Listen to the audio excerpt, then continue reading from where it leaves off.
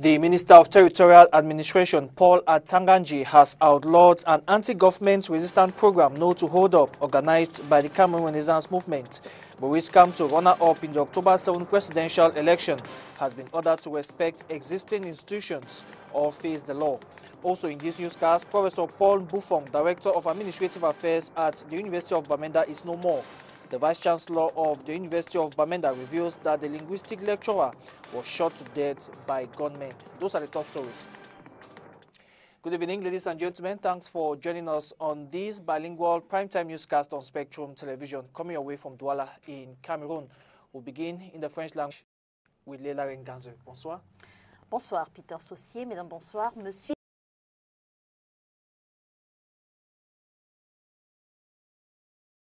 Ministre de l'administration territoriale interdit le programme de résistance nationale au hold-up organisé par le Mouvement pour la Renaissance du Cameroun. Au cours d'un point de presse ce jour à Yaoundé, Paul Atangadi a appelé Maurice Kamto et ses équipes à respecter la loi en vigueur.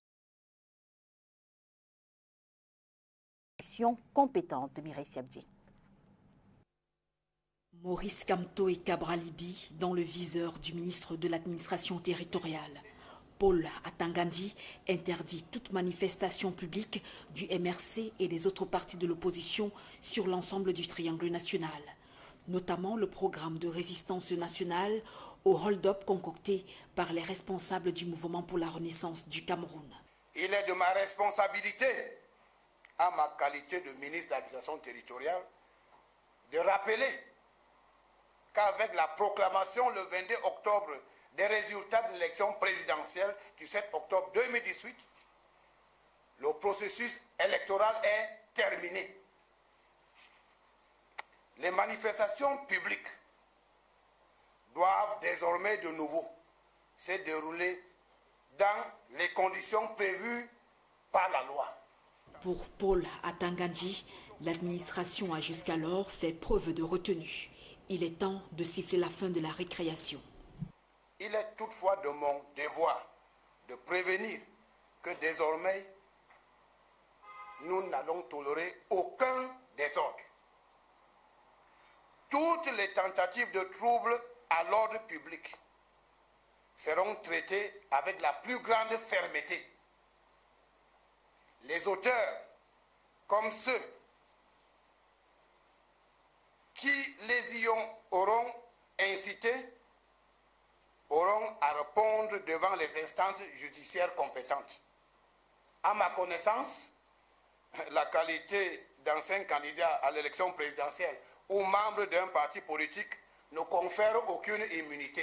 Le ton durcit de plus en plus entre le gouvernement camerounais et le MRC ainsi que le parti de Cabralibi, dont la conférence de presse a été interdite hier à Yaoundé par le sous-préfet de Yaoundé 4e aide publique à la presse, les membres...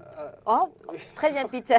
on continue justement avec vous avec cette uh, interview de Tagandi. Of course, we continue with that same press conference where the Minister of Territorial Administration, Paul uh, used the occasion to present the different stages uh, which uh, animated the electoral process uh, leading up to the October 7 presidential elections. The Interior Chief has also revisited the recent outings of Maurice Kamto, which uh, he qualified as ungrounded. Let's listen to him.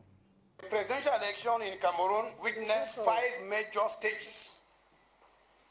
Convening of the electorate, electoral campaign, voting on the 7th October 2018, electoral litigations, and the proclamation of results by the Constitutional Council. Oath taken by the President-elect his Excellency Paul Biya will crown the process that was held under fully satisfactory conditions and appreciated by most of the observers. The head of state gave firm instructions to the administration to put in place optimal measures to secure the entire electoral process so that elections, the main in the life of our country, should hold in total calm and serenity. Elections Cameroon Elecam, the independent organ entrusted with the material organization of the presidential election, put in place all measures for the election to hold under the best conditions possible and in respect of internationally acceptable standards. These objectives were largely attained. Electoral campaign and the voting that followed took place without any major worry. It is, however, regrettable that before the presidential elections and thereafter, a candidate undertook upon himself to make illegal and anti-constitutional declarations, notably proclaiming himself winner of the election even before the Constitutional Council, the only competent authority to do so, could act. Even as the said candidate, after deciding to abide by the rules, notably petitioning the Constitutional Council, before which he freely made known his arguments, he again derailed by contesting the verdict of the Constitutional Council, which is final. The candidate and his followers never stopped multiplying provocations and other dangerous acts on the social, on social peace by attempting to organize insurrections. Many of their acts and declarations co contravene existing laws of the land, notably dispositions of the Penal Code and the Anti-Terrorism Law, which punish acts of terrorism and incitation to rebellion. Et puis loin de cette euh, interdiction du mouvement de renaissance, euh, du mouvement de résistance du MRC, non au hold-up électoral, interdit bien sûr par le ministre de l'administration territoriale pour la Tangandi. On parle de l'aide publique à la dire que les membres de la Commission nationale de l'aide publique à la presse se sont dans le cadre de la 17e session de cette commission. Principal point inscrit à l'ordre examen des dossiers qui pourront bénéficier de cette dotation. dossiers seront examinés pour une dotation qui tourne autour de 240 millions de francs. Le quorum des membres de la Commission nationale d'examen des demandes d'accès aux bénéfices à l'aide publique à la communication privée a été atteint pour cette 17e session.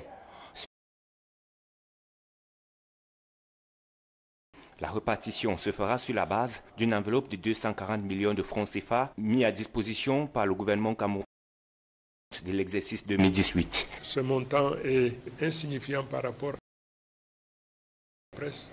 Il y a eu des événements qui sont venus parasiter notre budget. L'organisation transmission sera tutelée par le ministère de la Communication. Aussi, les crises sécuritaires à l'extrême nord, au nord d'Ouest sont entre autres pesanteurs qui ont impacté le budget du ministère de la Communication et influencé l'augmentation de cette enveloppe de l'aide à la presse privée.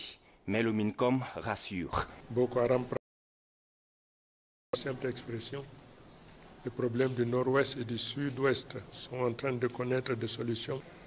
La responsabilité du gouvernement consistant à faire l'échelle courte à la presse, nous souhaitons simplement que vous en fassiez très bon usage. Cela fait 16 ans que ce mécanisme a été mis en place afin de systématiser l'appui gouvernemental au secteur privé.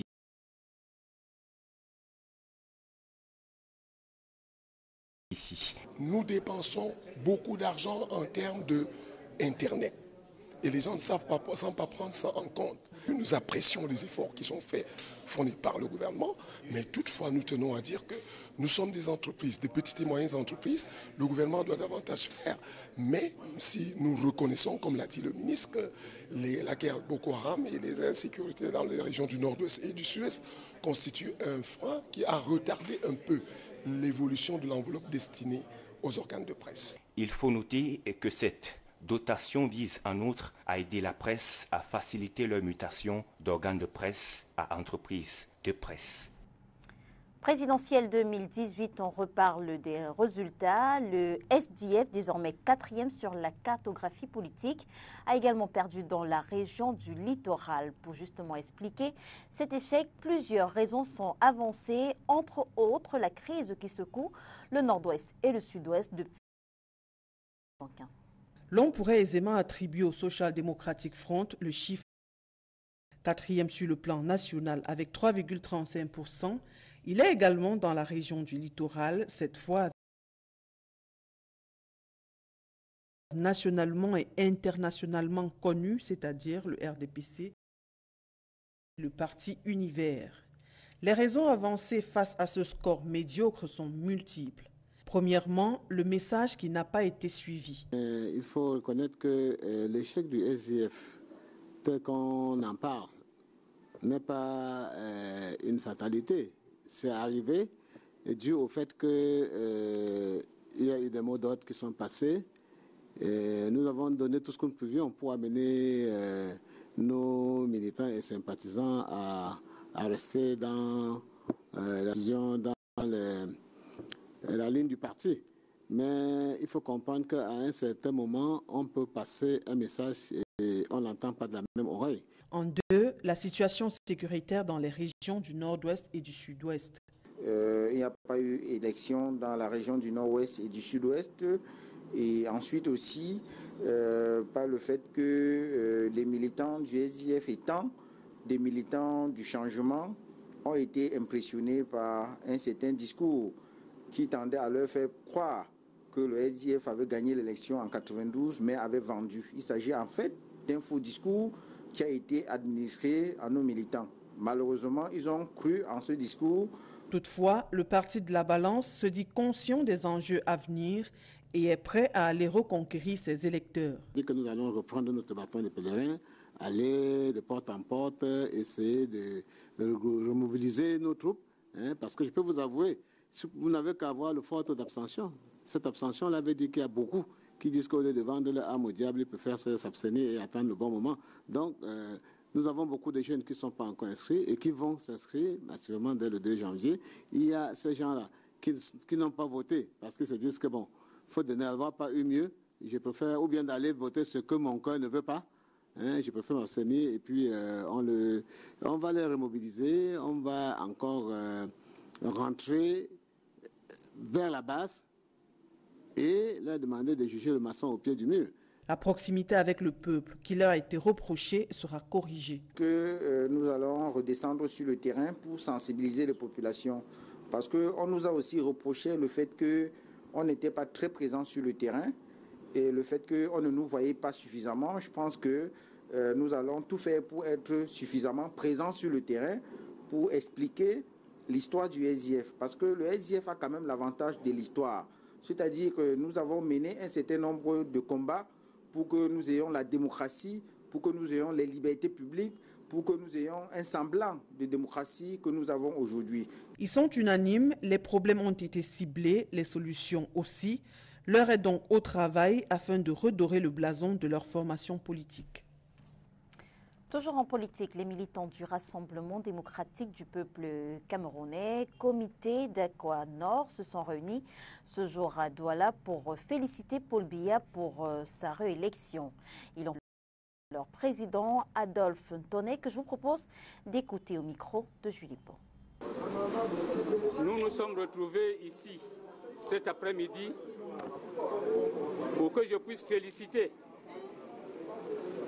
les comités de base des deux unités, en particulier, et certains de nos camarades venus dans Douala premier, en général, pour le travail qu'ils ont abattu sur le terrain pour la réélection de notre champion, son Excellence le Président Paul Biya. Ce n'était pas facile. Heureusement, et avant les grands rassemblements, c'est ce que nous avons appliqué à Daïdo.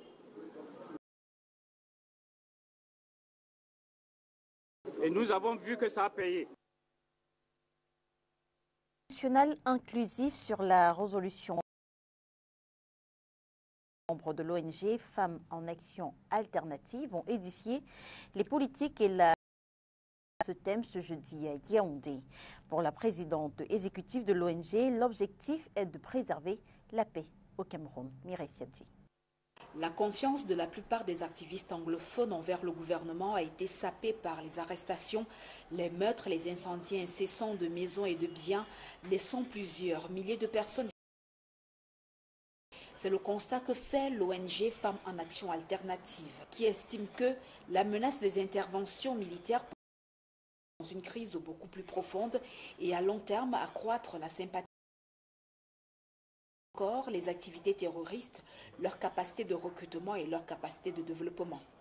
Une résurgence des conflits armés et des incertitudes, voilà qui ressort des débats de Yaoundé qu'une résurgence des conflits armés et des incertitudes politiques pourrait plonger le pays dans des décennies de tensions et de conflits ethniques et sociaux. Mais Femmes en Action Alternative pensent que les encore le choix. Il existe de véritables griefs et de profonds conflits au sein de la société, mais il existe également de meilleurs moyens que la violence pour y remédier. Nous avons besoin d'une solution et une solution rapide. Nous avons pensé qu'il est temps de construire une société paisible pour qu'il n'y ait pas la, guerre dans notre pays. Nous avons dit non à la violence et nous pensons que si nous tous, nous, euh, nous nous engageons pour construire la paix, notre pays sera un bon pays. Dans la capitale politique, Justine Kouachou Komchou et ses camarades se sont réunis pour explorer les problèmes du discours haineux, comprendre le rôle que différents acteurs de la société peuvent jouer, apprendre des expériences du Kenya en matière de violence électorale et de consolidation de la paix à tous les niveaux, discuter de la sécurité des rôles des femmes et des jeunes. On to the second of our lead stories, the University of Bamenda has lost one of its uh, most prized dons, Professor Paul Buffon, Director of Administrative Affairs in Dutch University and linguistic lecturer was shot and killed by yet-to-be-identified gunmen. Authorities of the university have called, have appealed for calm in the face of the massive loss. We have details with Lovenbe. Security challenges the office of the Director of Administrative Affairs in the University of Bamenda has remained empty since yesterday as a result of his untimely death. Professor Buffon Paul, who was at the helm of Administrative Affairs and also doubles as a professor of linguistics, was shot dead on October 25th on his way to his job site. According to a press release from the University of Bamenda,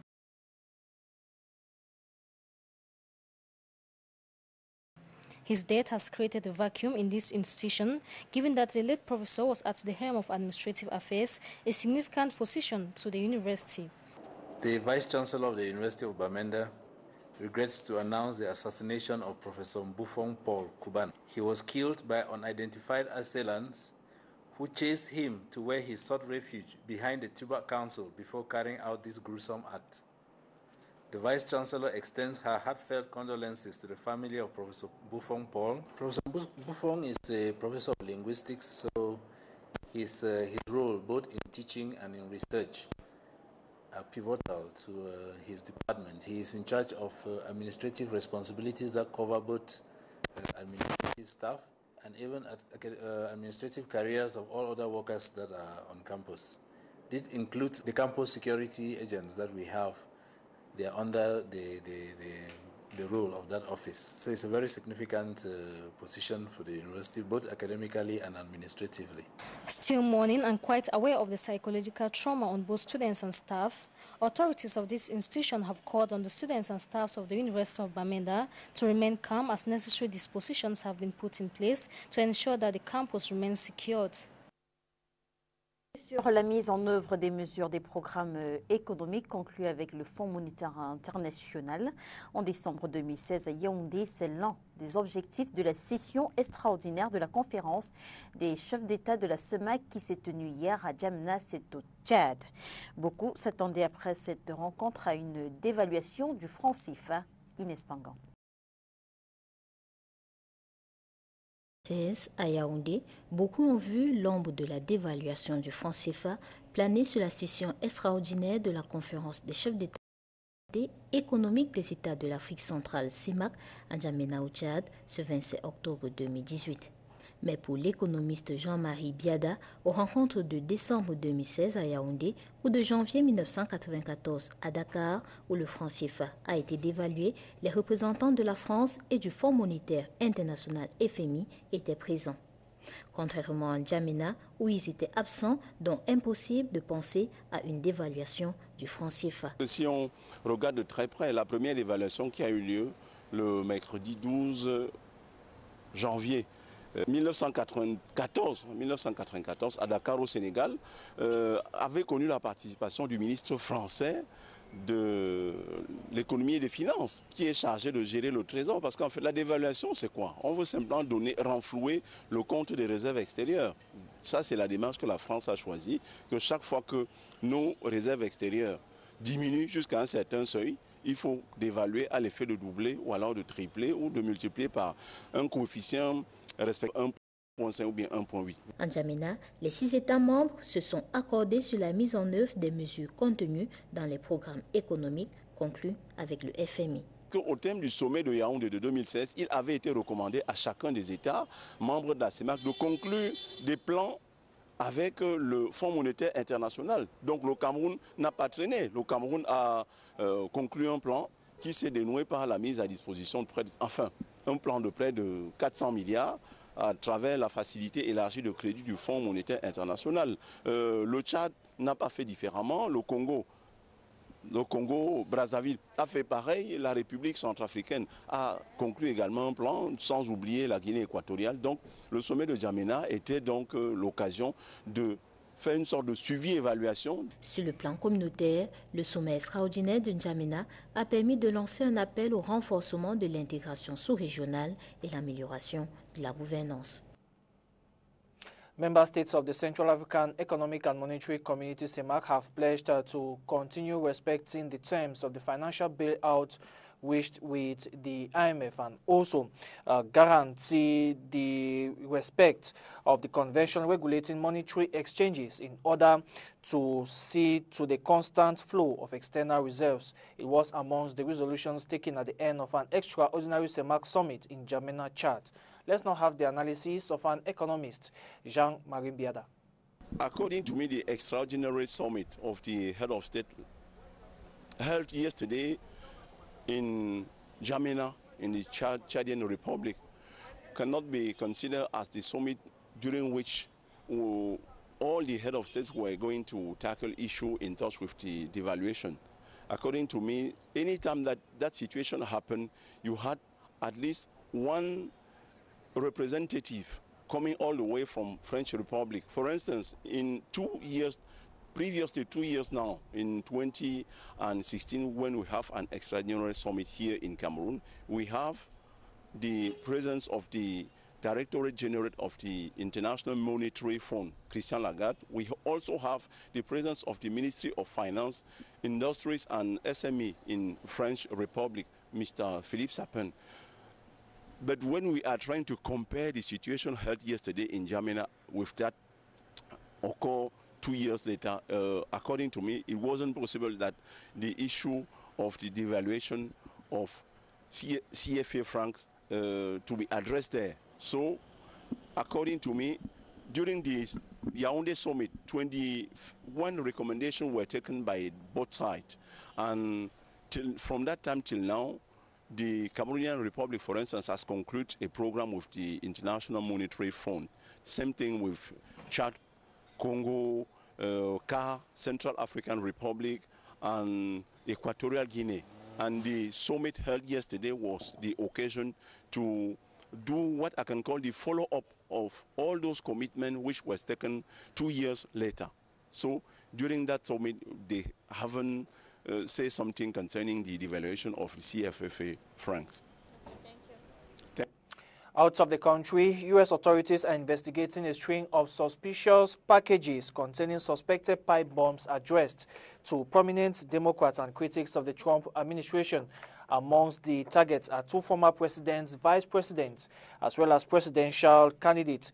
Uh, U.S. President Donald Trump has condemned the packages while at the same moment uh, lashing out on the press. We have details with the VOA. Trump has condemned the packages as an attack on U.S. democracy, but in a tweet he also blamed the mainstream media for what he called the anger we see today. Trump has been criticized himself for using offensive language that many say encourages violence. There's a difference between aggressive, uh, hard fought issues and the language around that and trying to incite people to violence. Trump's press secretary Sarah Sanders on Thursday insisted the media are unfair to Trump. Yesterday, the very first thing that the president did was come out and condemn the violence. The very first thing your network did was come out and accuse responsible for it. That is not okay. The suspicious packages intercepted so far have all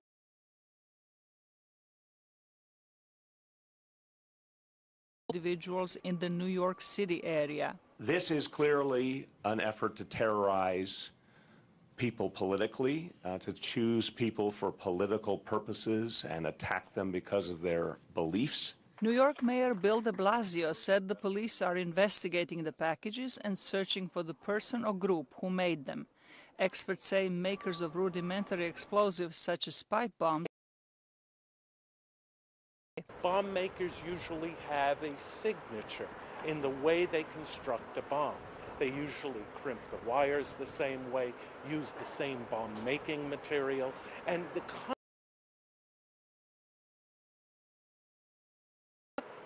identical features, local similarities, and vicious packages in yellow manila envelopes have been intercepted so far.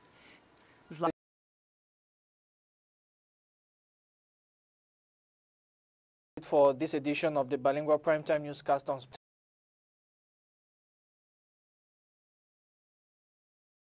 Check the rendezvous same time tomorrow uh, with John Paul Sama and Ines Pangang for the weekend bilingual news edition. From us, it's good night and weekend.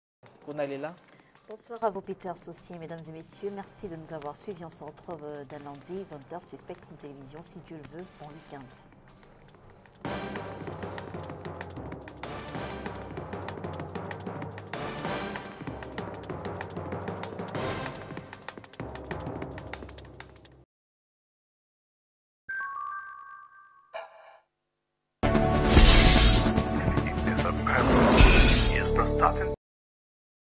Votre télé.